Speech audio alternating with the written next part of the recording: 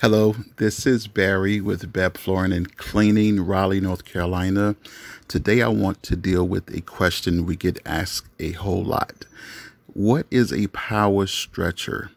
Well, a power stretcher is a tool used to professionally stretch carpet over pad and tack strip. Not using a power stretcher during a installation or restretch will increase the chances of wrinkles reappearing or appearing in your carpet.